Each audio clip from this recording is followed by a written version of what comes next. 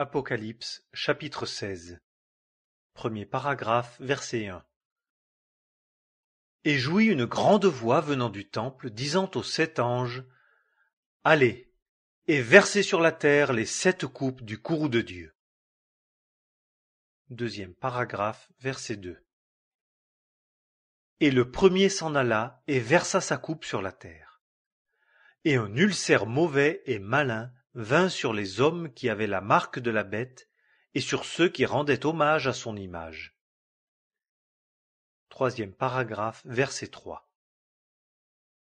Et le second versa sa coupe sur la terre, et elle devint du sang, comme d'un corps mort, et tout ce qui avait vie dans la mer mourut. Quatrième paragraphe, versets 4 à 7 et le troisième versa sa coupe sur les fleuves et sur les fontaines des eaux, et elles devinrent du sang. Et j'entendis l'ange des eaux disant, Tu es juste, toi qui es et qui étais, le saint, parce que tu as ainsi jugé.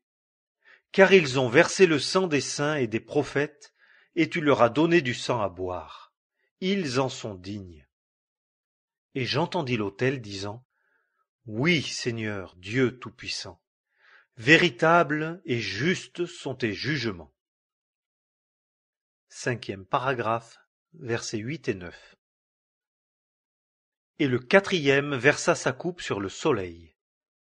Et il lui fut donné de brûler les hommes par le feu, et les hommes furent brûlés par une grande chaleur, et ils blasphémèrent le nom de Dieu qui a pouvoir sur ses plaies, et ils ne se repentirent pas pour lui donner gloire. Sixième paragraphe, versets 10 et 11. Et le cinquième versa sa coupe sur le trône de la bête, et son royaume devint ténébreux, et de douleur ils se mordaient la langue, et ils blasphémèrent le Dieu du ciel à cause de leur douleur et de leurs ulcères, et ne se repentirent pas de leurs œuvres.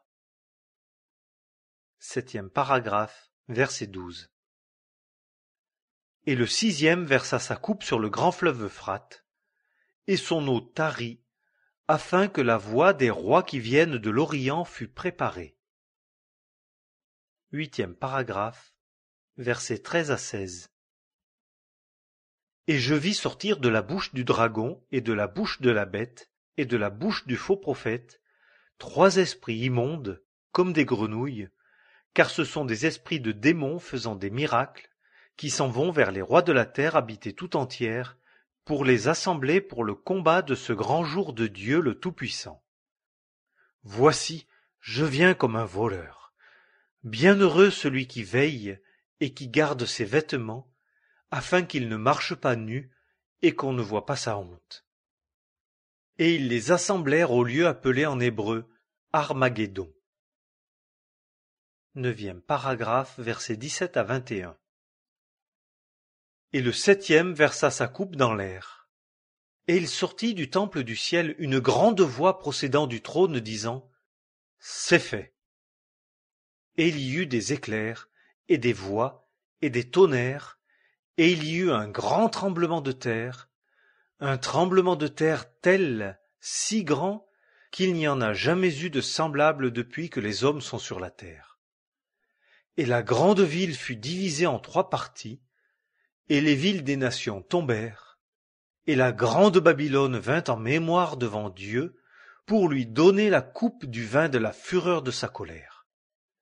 Et toute île s'enfuit, et les montagnes ne furent pas trouvées, et une grande grêle, du poids d'un talent, descend du ciel sur les hommes, et les hommes blasphémèrent Dieu à cause de la plaie de la grêle, car la plaie en est fort grande. Apocalypse